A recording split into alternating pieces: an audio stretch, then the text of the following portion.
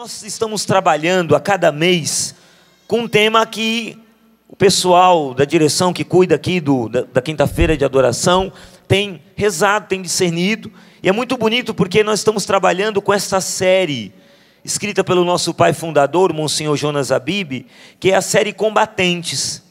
Então, nós a cada mês estamos trabalhando combatentes em alguma coisa, combatentes na fé, né, combatentes na aprovação, esse mês estamos trabalhando com combatentes na esperança. Você pode adquirir esse livro né, aqui na nossa loja, você que está aqui, na hora do intervalo, corre lá para a loja, já pode adquirir Combatentes na Esperança. Você que está em casa, só ligar a 0 operadora 12 31 86 2600 ou pela internet loja.cançãonova.com Combatentes na Esperança. Estamos trabalhando esse tema. E o tema que me passaram está aqui na página 77 que vai falar sobre o final dos tempos. Ai, ai, ai. Né? Vamos falar sobre final dos tempos nesta manhã? Pois é, vamos falar sobre o final dos tempos. Mas não se desespere, não precisa arrancar os cabelos, não precisa ficar apavorado nem roendo as unhas. Porque final dos tempos é diferente de fim do mundo. Eu quero ler para você o que Padre Jonas escreve aqui. Olha só. Não precisamos ter medo. Ele já começa dizendo isso. Não precisamos ter medo. Vira para quem está do seu lado e diga: Você não precisa ter medo, viu? Isso, fala para a pessoa. Olha aí para ela e diga: Não tenha medo, meu irmão. Nada de medo. Não precisamos ter medo. Isso. Pois, presta atenção: fim dos tempos não significa fim do mundo. Sabia disso? Fim dos tempos não significa fim do mundo. Fim dos tempos é plural. Deus deu um tempo para o povo judeu esse tempo começou com Abraão e terminou com a destruição do templo e de Jerusalém, porque aquela geração não recebeu Jesus quando Deus os visitou por meio do seu próprio filho. Foi o tempo que Deus deu ao povo de Israel para se converter e se voltar inteiramente para Ele. O interessante é que esse período durou cerca de dois mil anos. Terminou o tempo dos judeus e começou o tempo da igreja, o tempo dos pagãos. Por que tempo dos pagãos? E aí o Padre Jonas explica. São Paulo quis, em primeiro lugar, pregar para o seu povo, para convertê-lo, mas o seu povo não quis. Era o mesmo povo que rejeitara Jesus. Paulo então deixou o seu povo e foi anunciar o evangelho aos pagãos. Aí começa o nosso tempo, o tempo dos pagãos, o tempo de todos aqueles que não são judeus, o tempo da igreja. Estamos nesse longo tempo que começou lá em Pentecostes, já já vamos estar celebrando Pentecostes, né? E você já é convidado para estar conosco no acampamento de Pentecostes daqui a duas semanas. Sem ser esse final de semana, que tem famílias em pé, o próximo já é acampamento de Pentecostes. E diz aqui: começou em Pentecostes e culmina com o derramamento do Espírito Santo nos tempos atuais. Em Pentecostes, o derramamento do Espírito Santo foi em Jerusalém e atingiu os apóstolos, os discípulos e a multidão que lá estava. Mas hoje, o derramamento do Espírito Santo acontece sobre toda a face da terra. Na Rússia, no Brasil, na Coreia, nas Filipinas, atinge todas as classes sociais. O derramamento do Espírito Santo sobre toda a face da terra nos nossos tempos é o grande sinal de que o dia do Senhor está próximo, mais próximo do que imaginamos. O Senhor está às portas. O derramamento do Espírito Santo, esse grande derramamento, Padre Jonas vai afirmar isso para nós, esse grande derramamento sobre toda a face da terra é o grande sinal de que o dia do Senhor está próximo, mais próximo do que imaginamos. Pega, por favor, comigo a sua Bíblia e abra lá em Lucas, capítulo 21, a partir do versículo 25. Lucas, capítulo 21, versículo 25. É Jesus falando para nós, e logicamente ele falou aos seus discípulos, aos seus apóstolos, naquele tempo, mas ele agora está falando para mim e para você. Vamos escutar com muita atenção. Lucas, capítulo 21, versículo 25. Olha só. Jesus diz assim: Haverá sinais no sol, na lua e nas estrelas. Na terra, as nações ficarão angustiadas, apavoradas com o bramido do mar e das ondas. As pessoas vão desmaiar de medo só em pensar no que vai acontecer ao mundo, porque as potências celestes serão abaladas. Então, verão o filho do homem vindo numa nuvem com grande poder e glória. Quando estas coisas começarem a acontecer, levantai-vos e erguei a cabeça, porque a vossa libertação está próxima. E Jesus contou-lhes uma parábola: Olhai a figueira e as demais árvores, quando começam a brotar, basta olhá-las para saber que o verão está perto. Vós, do mesmo modo, quando virdes acontecer essas coisas, ficais sabendo que o reino de Deus está perto. Em verdade vos digo esta geração não passará antes que tudo aconteça. O céu e a terra passarão, mas as minhas palavras não passarão. Palavra da salvação, glória a vós, Senhor. Aplauda a palavra, isso, aplauda a palavra da salvação. Agora, Marca aí essa passagem de Lucas 21 e corre lá com a sua Bíblia, vai lá em Tessalonicenses, está no Novo Testamento, vai lá um pouquinho para frente, Tessalonicenses, versículo, capítulo 4, versículo 13. Primeira Tessalonicenses, né? Primeira Tessalonicenses, capítulo 4, versículo 13. Já vamos emendar uma palavra com a outra. Veja só, primeira carta aos Tessalonicenses é considerado o escrito mais antigo do Novo Testamento, sabia disso? Então ele foi escrito numa época em que a igreja já estava assim, já evangelizando, né, já tinha se espalhado ali por toda a região, levando a evangelização com intrepidez, com poder, com unção, mas ao mesmo tempo era um tempo de muita perseguição. Os cristãos eram jogados aos leões no Coliseu Romano, os cristãos eram queimados vivos em cruz, não matava o cristão para depois queimar, não, ele era queimado vivo ali na cruz, né? Tem um filme chamado Covades, não é covardes não, é Covades, que significa onde vais, né? É um filme antigo, bem antigo, que ele é lindo, porque ele, ele narra bem o tempo do martírio, né? Na, que a igreja primitiva vivenciou naquele tempo, nos inícios. Né? E essa carta foi escrita nessa época ali, uma época difícil para a igreja. E veja só, que está escrito, capítulo 4, versículo 13 do é, 1 Tessalonicenses. Irmãos, não queremos deixar-vos na ignorância a respeito dos mortos, para que não fiqueis tristes, como os outros que não têm esperança. Com efeito, se cremos que Jesus morreu e ressuscitou, cremos também que Deus, por meio de Jesus, levará com ele os que adormeceram.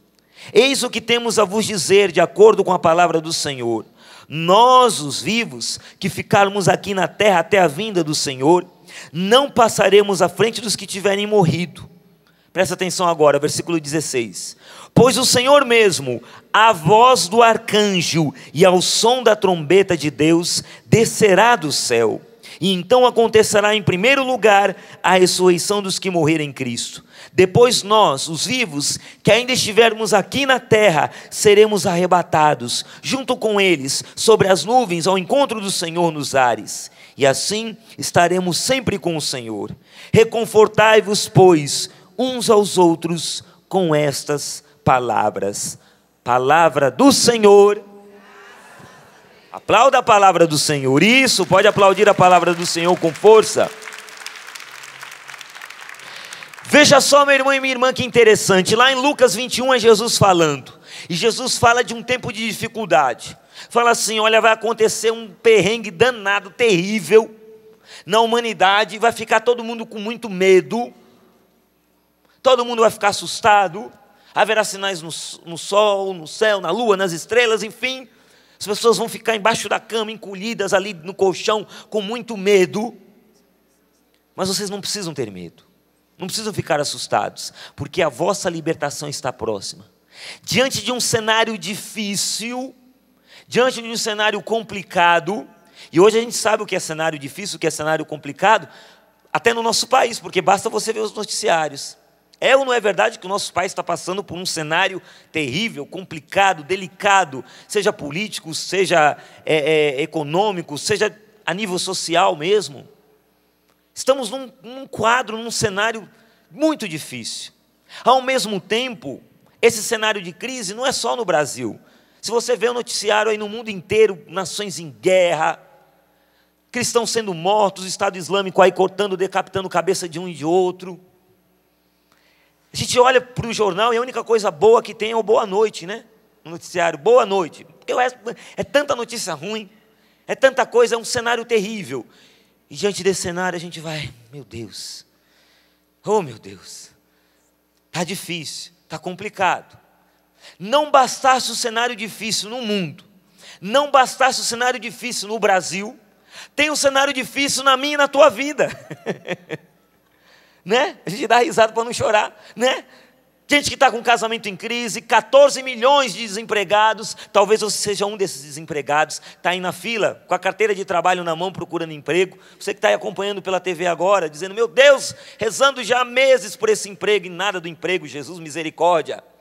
O cenário está difícil, lá em casa, com seus familiares, é aquele familiar doente aquela pessoa que já está lá no estágio final daquele tumor e acompanhando, aquele parente que está lá internado no hospital e desgasta, gente. Se tem uma coisa que desgasta é quando você vai cuidar de um familiar doente, é não é verdade? Ir para o hospital, e você vai estar tá ali do lado se doando, mas o doente está doente. Só que quem acompanha também fica doente, porque se envolve, não tem como. Se envolve emocionalmente com a situação, então está ali acompanhando no hospital, leva para um lado, leva para outro, leva para médico, leva para quimioterapia, para radioterapia, a pessoa vai, vai definhando também, porque é difícil. Cenário é difícil. Jesus está falando aqui em Lucas 21 de um cenário difícil. Paulo, lá em 1 Tessalonicenses 4, fala de um cenário difícil também porque era um cenário difícil. Ele estava falando para cristãos perseguidos, cristãos que, se não prestasse atenção, virasse para a direita, estava o soldado romano pegando ele, levando ele lá para o Coliseu, para ele ser carne de primeira ou de segunda, não sei, para o leão. E os romanos iam estar lá, comemorando, mata mesmo, mata mesmo. Então eles tinham que ficar meio que intocados, lá ali, dentro das, das catacumbas, né? escondidos ali, nas catacumbas para se proteger. Vivendo meio que clandestinamente, porque, desculpa a expressão, se desse mole, ah, eram, eram pegos e eram levados para o Coliseu. É nesse cenário que Paulo está falando. Reconfortai-vos uns aos outros com essas palavras. Mas que palavra é essa? Naquele tempo, o, o cristão que lesse essa carta diria assim: mas reconfortar com que palavra? Olha aqui, o leão quer me comer. Estão querendo me queimar vivo na cruz. Já perdi meus familiares nessa perseguição. Estou esperando o Senhor voltar, porque disse que Ele vai voltar e não veio até agora. Estou desanimado. Eu vou me reconfortar com qual palavra?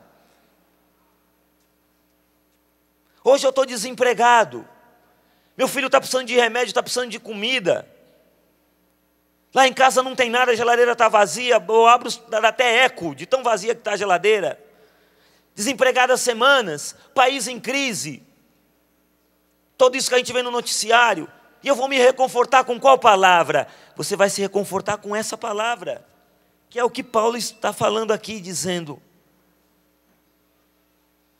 Então acontecerá, diante de todo esse cenário terrível, acontecerá a ressurreição dos mortos. A ressurreição dos que morreram em Cristo. Depois nós, os vivos, que ainda estivermos aqui nessa terra, nesse vale de lágrimas, seremos arrebatados junto com eles, sobre as nuvens, ao encontro do Senhor nos ares, e assim estaremos sempre com o Senhor. E olha o que ele diz aqui no versículo 15: Eis o que temos a vos dizer de acordo com a palavra do Senhor, nós, os vivos, que ficarmos aqui na terra até a vinda do Senhor, não passaremos à frente dos que tiverem morrido, pois o Senhor mesmo, a voz do arcanjo e ao som da trombeta de Deus, descerá do céu. O que Paulo está falando para aquela igreja primitiva é o que Jesus já dizia naquele tempo, lá em Lucas capítulo 21. Vai haver sinais, tudo isso, mas quando essas coisas acontecerem, não se desesperem. Levantai-vos e erguei a cabeça, porque a vossa libertação está próxima. Vós, do mesmo modo, quando vides acontecer essas coisas, ficais sabendo que o reino de Deus está perto. Em verdade vos digo: essa geração não passará antes que tudo aconteça. O céu e a terra passarão, mas as minhas palavras não passarão. O Senhor está falando com isso para mim e para você, dizendo: os homens podem mentir, mas eu não minto. O que eu disse eu cumprirei. O que eu prometi eu darei. Eu, Senhor teu Deus, estou falando, e quando eu digo que vai acontecer, creia, vai acontecer. Você, eu e você veremos esse céu aberto e o Senhor voltar nas nuvens em glória. E quando o Senhor voltar, Ele vai olhar para esse povo que está lutando, que está perseverando. Mas Ele espera ver um povo de cabeça erguida. Hoje, para eu e você sermos combatentes da esperança, sermos combatentes na esperança, como pede aqui o livro do Padre Jonas, combatentes na esperança, nós precisamos mais do que nunca desse que é o grande sinal que o Padre Jonas está falando aqui, que é o derramamento do Espírito Santo. Porque sem o Espírito Santo, meu irmão e minha irmã, nós vamos continuar com os nossos olhos para a crise, para a violência, para o desemprego, para a miséria, para o pecado do outro, para a morte, para a doença, que é real. É real, não é ilusão. Está aí, está diante do seu nariz. É real, você vê no noticiário, é real. É real o que aconteceu de queimar lá ministério, o povo revoltado, ir lá incendiar, querer botar fogo em Brasília, no Distrito Federal. É real, não é mentira. É o que está acontecendo. Mas quando se tem o Espírito Santo, meu irmão e minha irmã, você compreende que essa situação só muda de um jeito. E que jeito é esse, Alexandre? Pela força da oração. E o Senhor quer levantar um povo de oração. Um povo que sofre sim, que tem a geladeira vazia, que está desempregado, mas faz a cada dia experiência com Deus da providência porque o mesmo Deus que está contigo, o mesmo Deus que vai caminhar aqui no Santíssimo Sacramento, é o mesmo Deus que disse a mim e a você: olhai as aves do céu, não semeiam nem ceifam, mas vosso Pai celeste as alimenta, não valeis vós muito mais do que elas? É o mesmo Deus que tem dito isso para mim e para você, e diante disso, meu irmão e minha irmã, só nos apresenta uma escolha: ou a gente é do povo que treme de medo na base e diz, meu Deus, eu não aguento isso ou nós somos do povo que levanta e ergue a cabeça e tem a certeza: a libertação está próxima, a libertação está próxima, a libertação está próxima. Hoje não tem como, eu e você estamos diante de uma escolha, e veja o que diz o catecismo da Igreja Católica. Fantástico isso, meu irmão e minha irmã, porque o catecismo da Igreja Católica ele vai dizer exatamente o que está escrito aqui no, na Sagrada Escritura quando fala dessa provação derradeira da igreja, e diz, no número 675, antes do advento de Cristo, a igreja deve passar por uma provação final, que abalará a fé de muitos crentes. A perseguição que acompanha a peregrinação dela na terra desvenderá, desvendará o mistério de iniquidade sob a forma de uma impostura religiosa, que há de, trazer aos homens uma solução aparente a seus problemas. Vou abrir uma pausa aqui. Diante desse cenário terrível, no Brasil e no mundo, não é verdade que a gente fica esperando um salvador da pátria? Tem que chegar alguém para arrumar essa, né, arrumar essa situação. Tem que chegar alguém para arrumar essa situação, um salvador da pátria.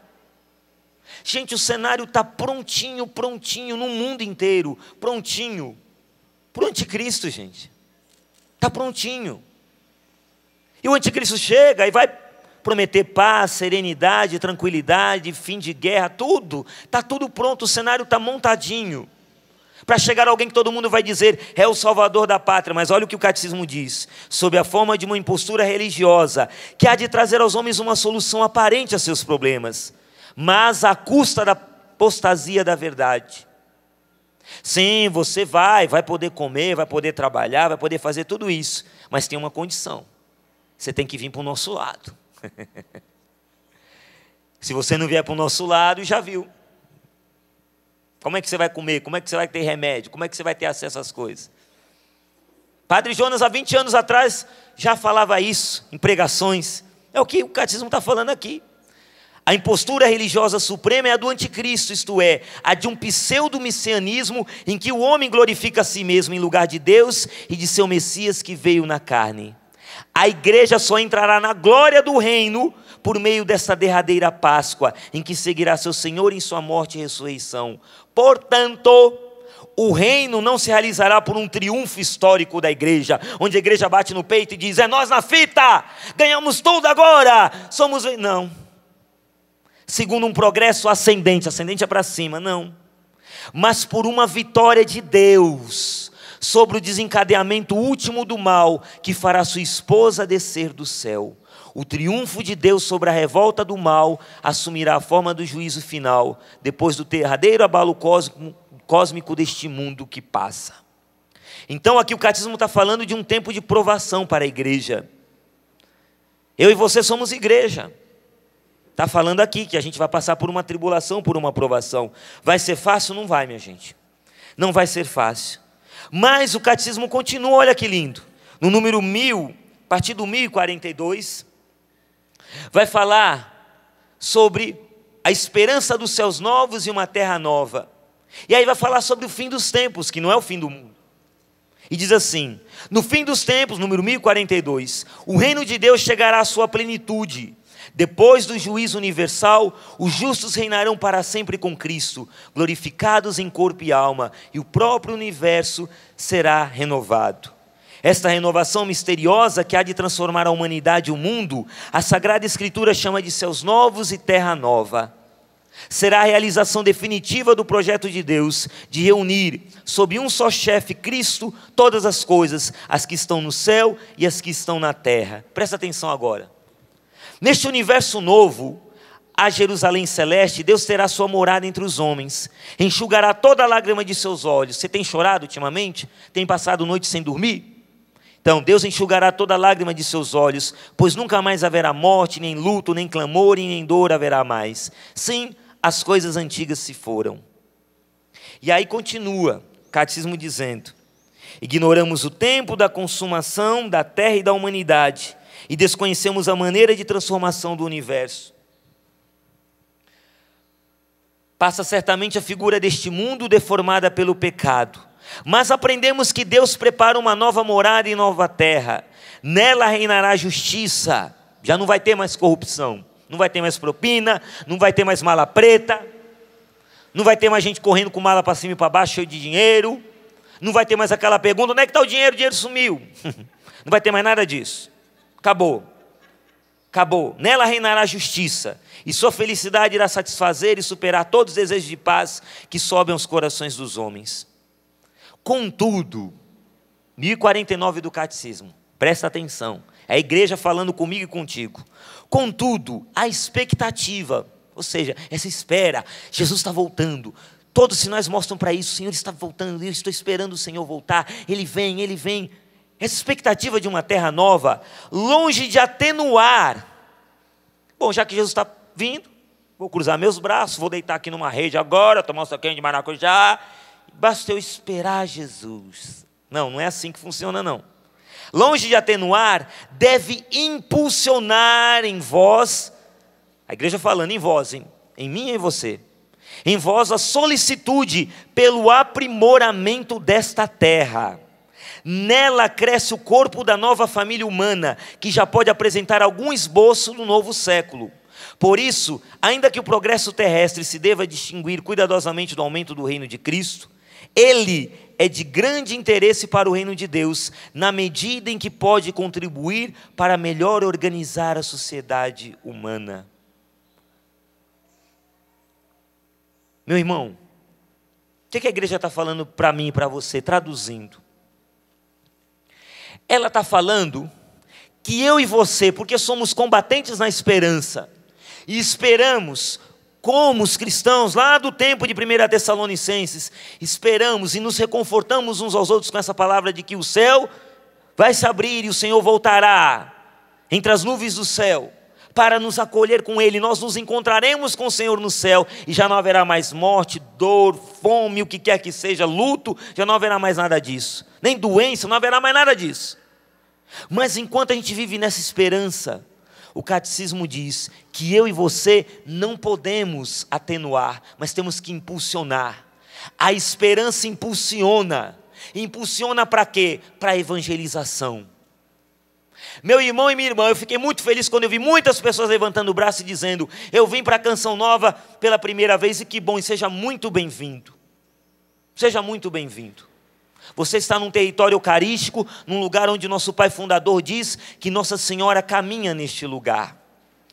Quando você ingressa na comunidade de Canção Nova, é, faz parte da comunidade, seja como membro da comunidade de vida ou como membro da comunidade de aliança, você recebe um livro, na verdade são dois, nossos documentos, volume 1 e volume 2. Eu estou aqui com o volume 2. São escritos do nosso pai fundador. E Padre Jonas, quando escreveu esse, esse trecho que eu vou ler para você agora, ele escreveu em setembro do ano 2000. E ele diz assim: ele fala para nós da comunidade, mas serve para você que ama a Canção Nova e que é da família Canção Nova. Olha o que ele diz: ele diz assim, página 28. Hoje, Deus coloca a Canção Nova como um dos elementos reintegradores para que a sociedade não seja mais desintegrada, para que o processo de desintegração acabe. O sistema de desintegração é aquele voltado para a vida dedicada a ganhar dinheiro, fato comum que vem acontecendo nas nossas famílias e até na vida religiosa. Digo isso com todo respeito. Dois pontos. Faça um, mar... Faça um marketing para ganhar dinheiro. Esse sistema faz com que seja muito dura a adaptação daqueles que estão entrando no sistema de Deus.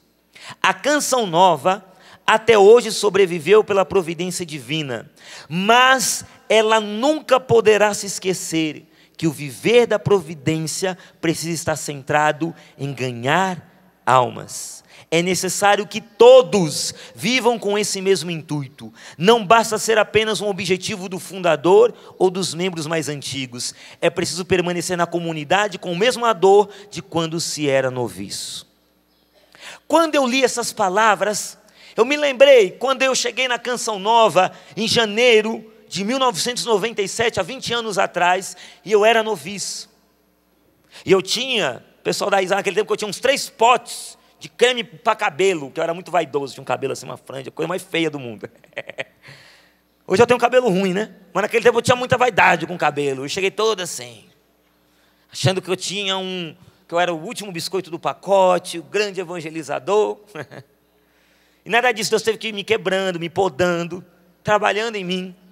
Mas é interessante porque Deus quebrou Alexandre, podou Alexandre, foi tirando as arestas do Alexandre, tirando os cremes de cabelo, foi tirando tudo isso. Só que algo não mudou nesses 20 anos. Não mudou. O desejo de ganhar almas. Porque eu entendo que a canção nova existe para isso, para ganhar almas. Então agora estou dirigindo essa pregação para você que está aqui, mas para você que está em casa, que é dessa família Canção Nova. Eu rodo por esse Brasil. O Peter que está aqui, Está em algum lugar aqui que eu não sei? Vai vir, vai dar voltar, né? Nós rodamos esse país. E nós temos muito contato com muitas pessoas.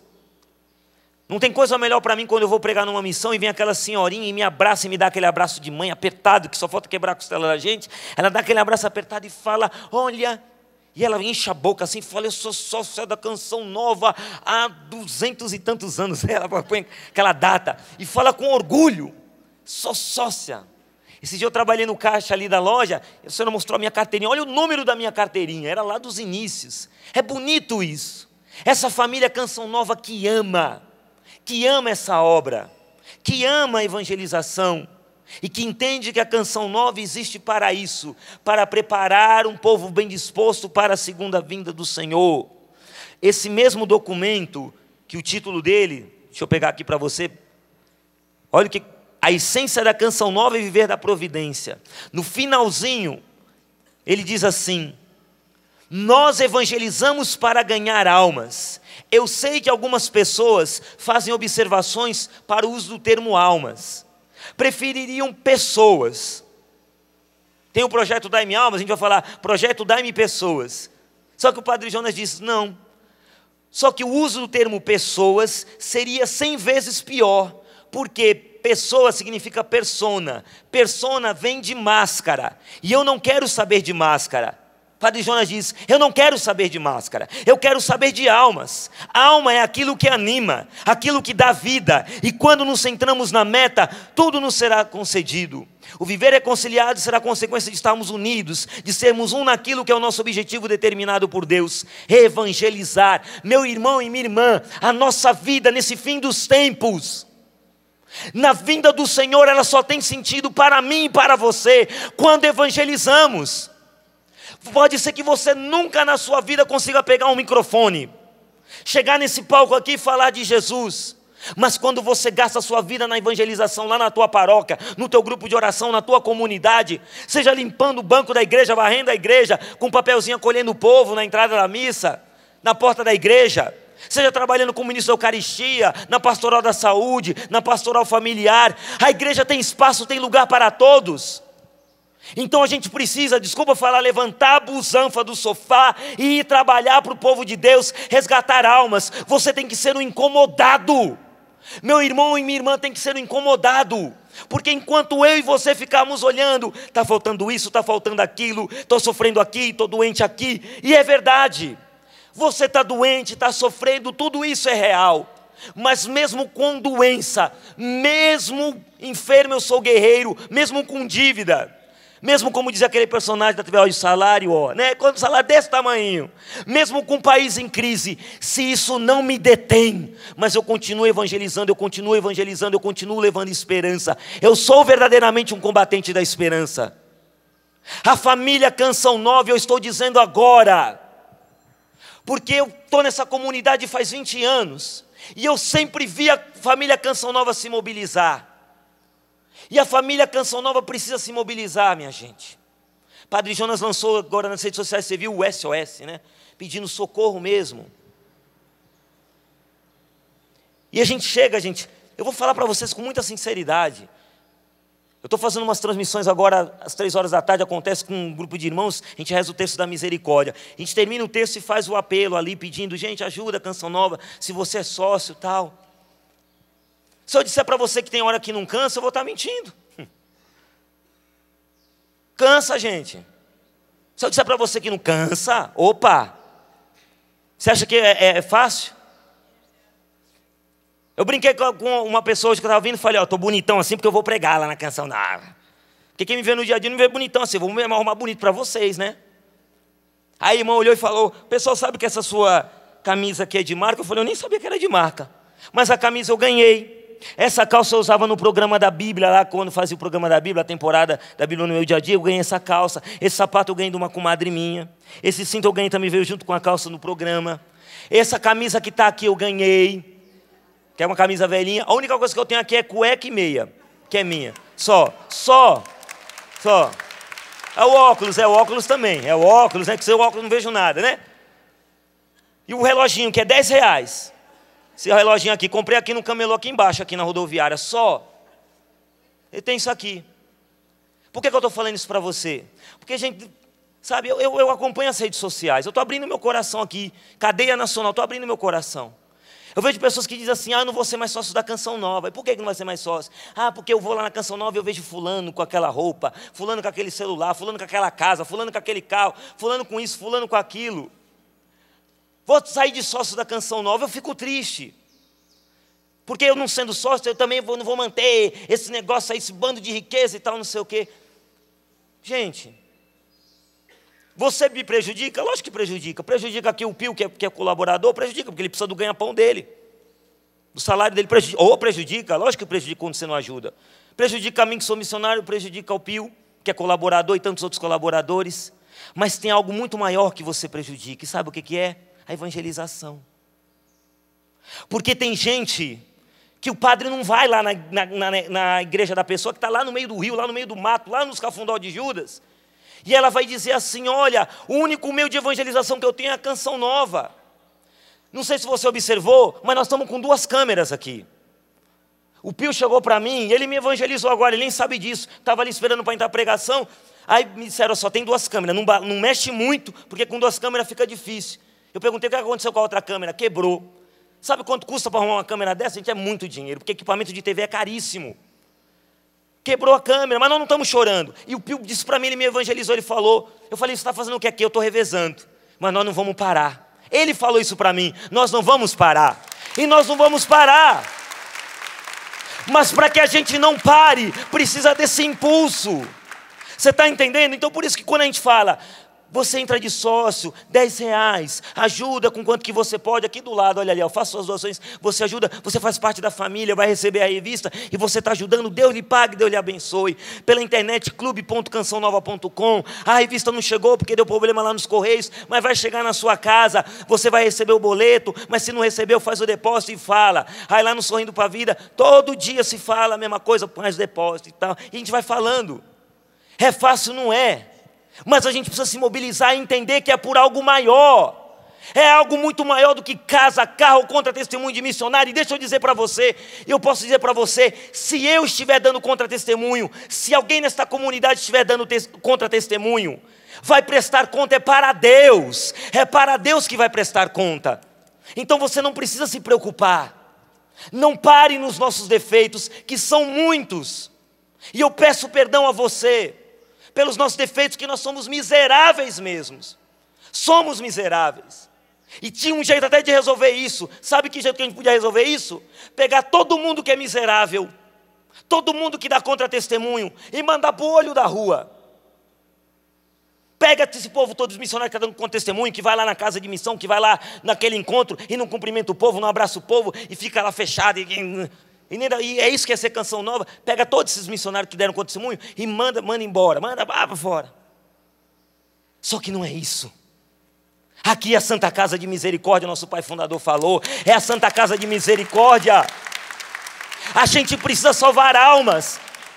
Você já assistiu aquele filme Até o Último Homem? Se não assistiu, eu estou indicando para você. Assista. É do, do Mel Gibson, aquele diretor. Mel Gibson que fez o filme da Paixão de Cristo. Assista, meu irmão.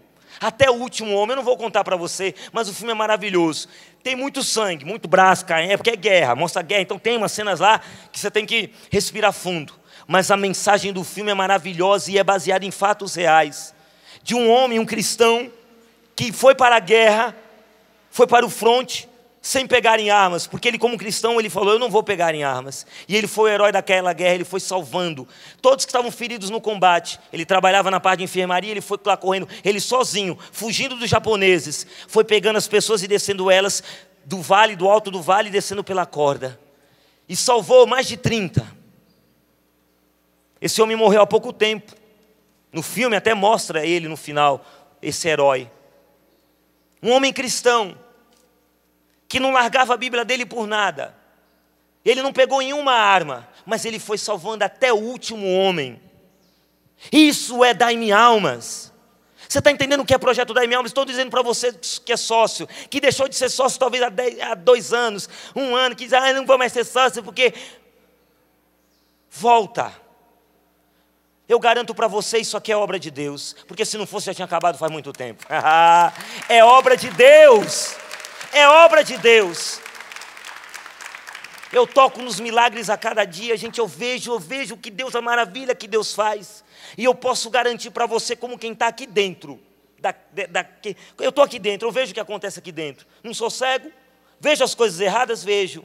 E rezo, porque é só pelo poder da oração que Deus muda o que está errado. Mas eu glorifico também a Deus pelos testemunhos de santidade. Meu irmão, como tem gente santa aqui dentro. Tanto missionário quanto colaborador. Tem gente, tem gente que está dando a vida aqui dentro, está suando a camisa e está vivendo com coerência. Tem. Tem irmão que está sofrendo. Esses dias mesmo encontrei num refeitório com uma irmã minha de comunidade que perdeu a mãe. Mãe morreu em três meses. Estava bem, tumor veio avassalador, perdeu a mãe em três meses. O olhar de serenidade dela ali no refeitório, sofrida, saudade da mãe, lógico. Eu sei bem o que é isso, mas a serenidade dela falando: não, eu vou, meu pai vai ficar um tempo aqui comigo, junto com meu irmão. E ela não aparece nas câmeras, não está, não aparece nas câmeras. É a Gilmara. Quem conhece aqui da comunidade vai saber a Gilmara, minha irmã de comunidade. Você não vê ela pregando aqui, mas que exemplo. Um outro irmão meu, que é um dos melhores cinegrafistas que nós temos, um dos melhores, porque a gente tem muitos cinegrafistas bons, como o Pio aqui, o outro irmão lá, tem muitos cinegrafistas bons, mas temos um, um grande cinegrafista que é o Nelson Perrone. Esses dias eu estava lá no, no, instituto buscando meu filho, que estava fazendo crisma, ele estava lá, o semblante dele, olha, cansado. Eu olhava para o Nelson e falei, ah, difícil a vida, ele é. A esposa dele está acompanhando o pai, que está lá em, em um estado de saúde muito crítico. E ela dizia, eu já falava para o marido, Meu amor, estou sofrendo tanto que eu emagreci 7 quilos. Ele brincou, ah, então, opa, você está bem. ele brincou, ele sorrindo, levando no bom humor. Eu falava, meu Deus, com duas meninas em casa. Eu falava, e as meninas? Ah, estou levando. Não dá para eu ir lá em Belo Horizonte e voltar, não dá para ficar indo e voltando. Estou levando. Santidade. Santidade concreta, você está entendendo? Não é alguém que diz, mas que desgrama, que droga de vida. Meu sogro está lá doente, minha mulher não está aqui em casa. Que raiva, que ódio. Não, não é. Mas diz, eu estou sofrendo, mas mesmo com sofrimento, eu pego um bom humor, eu brinco.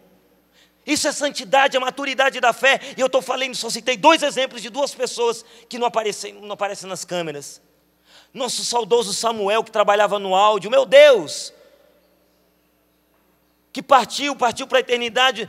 Ano passado, gente, a fila do velório desse homem, do enterro desse homem, a fila chegava lá da rua, lá do prédio da DM até aqui o rincão. Era gente que não acabava mais, quem olhava dizia: quem que morreu? Foi alguém que tem mais de 100 mil seguidores naquela página na internet? É alguém que tem, olha, tem um blog, que tem programa de televisão? Não, não tem nada disso. Era operador de áudio, mas ele viveu com coerência, viveu com santidade. Está no céu porque ele dizia o céu é logo, ele vivia dizendo isso e vivia rindo, trabalhava aí, enrolando o cabo, ligando câmera e vivia rindo. Um irmão, gente, muita gente santa que Deus já chamou e que permanece aqui. Vale a pena. E é assim, é nós, é nós, Canção Nova, família Canção Nova. Para você que está vindo agora para a família Canção Nova, seja muito bem-vindo. Isso é projeto da M Almas. Projeto da M Almas é muito além de número, gráfico, de chegar lá, mostrar uma planilha e dizer: olha, temos tanto por cento, falta tanto por cento. É muito mais que isso. Você está entendendo agora que projeto da M Almas não é projeto da M Pessoas, mas é evangelizar para quê? Para preparar homens e mulheres novos para um mundo novo. Porque essa câmera que quebrou está fazendo falta? Tá. Mas mesmo que a câmera não esteja aqui, nós vamos fazer. Não vamos parar. E quando a câmera voltar, porque ela vai voltar, eu tenho certeza disso, quando a câmera voltar, faremos ainda melhor. E com alegria e com um sorriso nos lábios. Mas queremos fazer com você com você, junto com essa família, amando, acreditando, junto com a gente rezando, junto com a gente louvando, junto com a gente adorando, junto com a gente sofrendo, nós juntos com vocês e vocês junto com nós. Canção nova, grande família Canção Nova, unida, coesa se virando mesmo, usando de criatividade para campanha e para a gente chegar aos 100% e evangelizar, evangelizar, evangelizar, colaboradores trabalhando, missionários evangelizando, ninguém parado, ninguém cabuzanfa no sofá, todo mundo arregaçando as mangas, todo mundo trabalhando, porque o Senhor está voltando. O Senhor está voltando e enquanto o Senhor volta, a gente vai dando o melhor. A canção nova tem o dever de dar o melhor para você, mas você também tem, porque você é da família. Você precisa dar para nós a sua oração, a sua generosidade. E se a gente está errando e, e a gente tem que fazer o meia-culpa, batendo no peito, mas tem que dizer: olha, apesar de nós, acredita, é obra de Deus. Acredita, é obra de Deus. Ele é o Senhor desta obra. E eu olho para a canção nova, eu olho para a igreja, eu olho para vocês com muita esperança. Quando eu olho para o Brasil e vejo essas situações todas de quebra, quebra, quebra, quebra, essas coisas todas, ai meu Deus, o que vai ser do mundo agora? Eu ergo a cabeça, eu fico alegre porque eu sei que a libertação se aproxima. Oh, aleluia, a libertação se aproxima. é isso, meu irmão. Não joga a toalha, não. Para terminar, eu quero contar esse testemunho que eu contei lá em São José do Rio Preto. Eu cheguei em casa um dia difícil, você já teve dia difícil? Eu tive dia difícil também. Tenho dias difíceis. Teve um dia que aconteceu um monte de coisa. O celular quebrou, quase bati o carro, a esposa não estava muito bem. Um monte de coisa foi acontecendo. Um dia difícil, complicado. E aí, eu estava em casa assim, sabe quando o dia é complicado, você dá uma. Né, dá uma respirada mais fundo. E vamos que vamos. Só que eu cheguei em casa, fui buscar meu filho na escola. Cheguei, eram umas sete horas da noite. Quando eu me deparo no sofá com dois papéis. Minha filha, ela é toda artista, a Beatriz. E ela é toda artista, ela gosta de desenhar, gosta de escrever. E ela deixou na, lá no sofá dois papéis. Quando eu olhei para aqueles papéis, meus olhos encheram d'água. Eu dei um abraço apertado na minha filha. E ela tinha contado para minha esposa, dizendo: papai hoje está tá sofrendo, né? Eu vou animar ele. E ela pegou e fez dois bilhetes. Mostra aqui, Pio. O primeiro bilhete foi esse aqui que eu quero mostrar para você. Olha a letra dela. Desenhou até um terço. Escreveu assim: São José roga por ti. Nossa Senhora te abraça.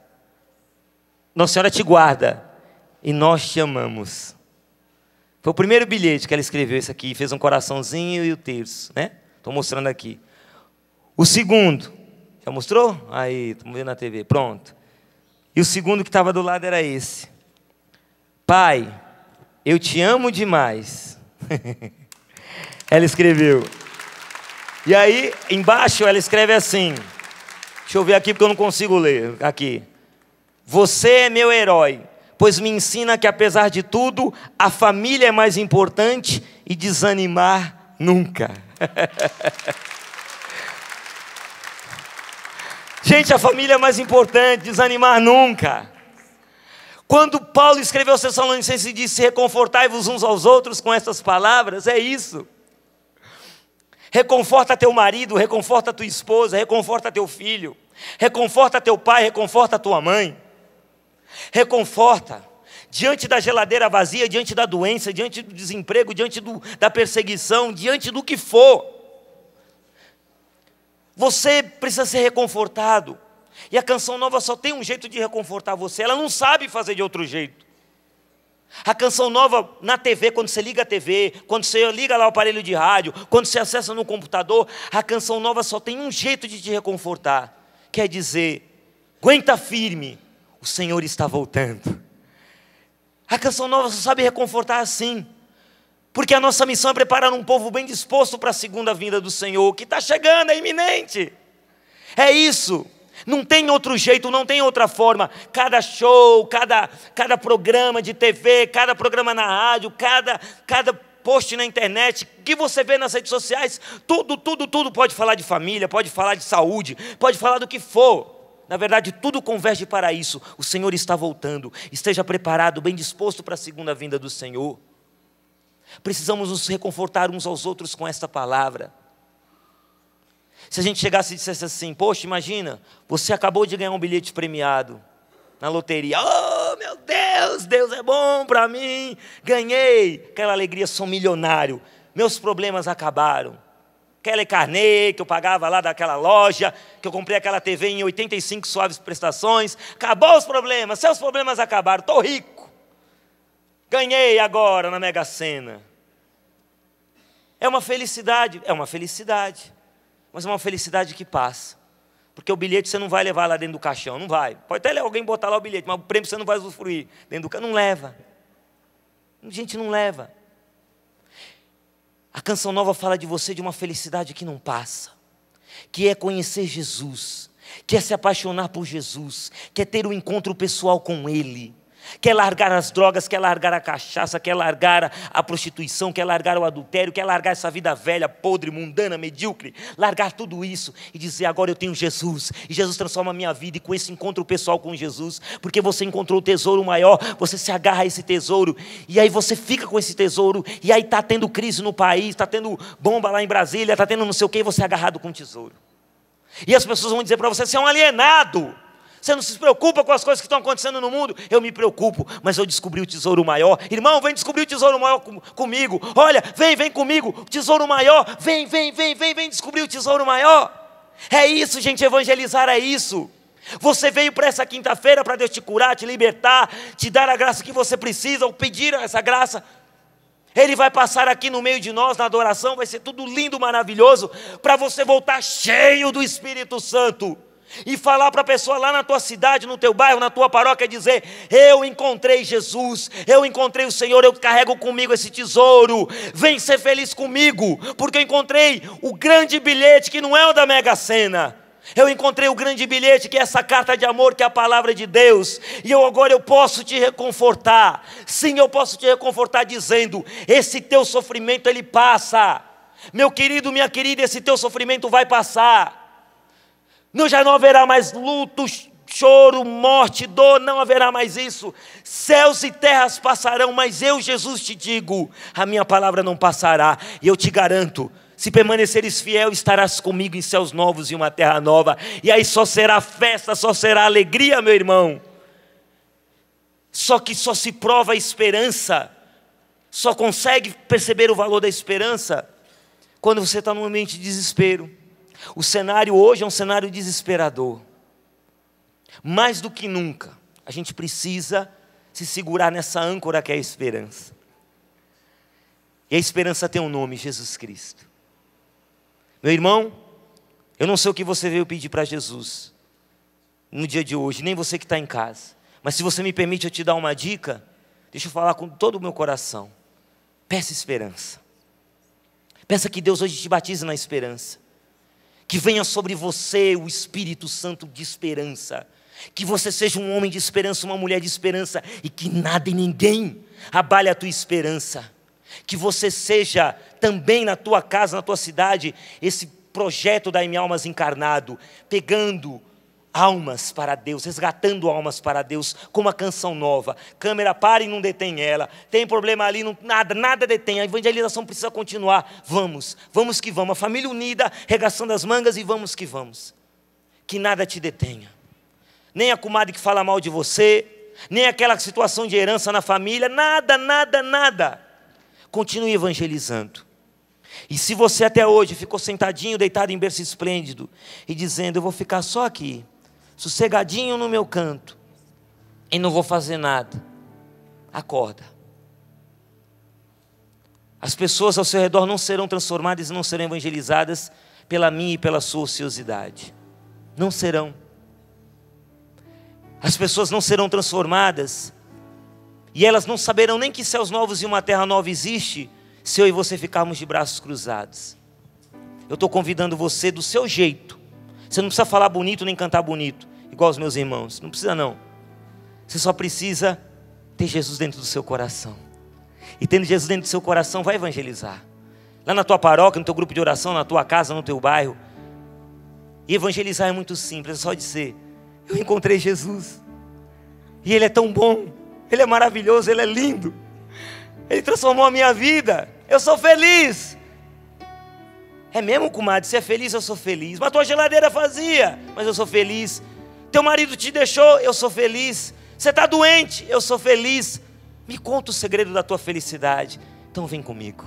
E você traz a pessoa para a igreja. E ela fica na igreja. E ela permanece na igreja. E com a igreja, dentro da igreja, firme até o fim, nós veremos, eu e você, veremos o céu se abrir e o Senhor voltar em glória. Eu não quero ver o céu se abrir em glória sozinho. E se eu morrer, se Deus me chamar antes, não tem problema não. Se Deus me chamar antes, eu não, não o céu se abrir, o Senhor voltar em glória, não tem problema, eu já estou lá com Ele. Aí quando o Senhor vier, eu vou estar lá junto também. Opa, fazendo festa também. Vou estar lá junto, me encontrando com o Senhor. Mas eu vou ser, se Deus quiser, enterrado aqui, se tiver uma vaguinha no cemitério aqui do lado, os nossos vizinhos estão aqui do lado do terreno, aqui do lado ali perto do seu Lacoanete, do tio Zezinho, de tantos homens de Deus que estão ali, que deram a sua vida e que entenderam o que é o projeto da minha almas. Eu estou pedindo mesmo uma graça agora. A você que se decepcionou com a gente, se decepcionou com tanta coisa dentro da canção nova, que só o Espírito Santo mesmo vence essa decepção no seu coração e que você volte a entender o que é o projeto da M Almas que você volte a entender que o projeto da M Almas é muito mais do que manter TV, rádio, internet. O projeto da M Almas é a gente somar esforços, juntar, depositar os 10 reais, os 15, os 20, entrar de sócio, comprar livro, comprar CD, comprar camiseta, ir na loja, ajudar a Canção Nova, mas muito mais do que isso. É preparar, o projeto da M Almas é preparar o povo, bem disposto para a vinda do Senhor. E tudo que eu faço, camiseta que você vai comprar, o CD que você vai comprar, o que você está pedindo, a palestra que você está pedindo agora, o que quer que seja, você está preparando um povo bem disposto para a segunda vinda do Senhor. Isso é para isso que existe a canção nova. Eu estou chamando você que se afastou da companhia de pesca, volta. Volta. Eu peço a Ti, Espírito Santo, ao final desta pregação, preparando esse momento em que o Senhor vai vai caminhar no nosso meio. Eu já estou pedindo, eu convido você, vai ficando de pé. E eu peço agora, Espírito Santo, nesta manhã, dai-nos o batismo da esperança, porque não é fim do mundo, é fim dos tempos. E nesse fim dos tempos, é verdade, Senhor, passaremos pela derradeira aprovação da igreja, mas a palavra final não será da aprovação. A palavra final será dos céus novos e terra nova, onde nos encontraremos contigo e viveremos felizes para sempre.